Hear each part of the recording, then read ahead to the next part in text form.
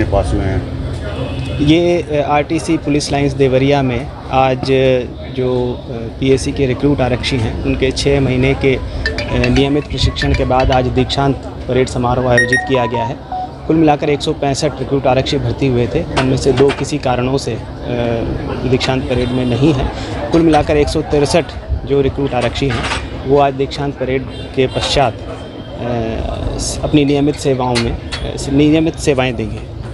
thank you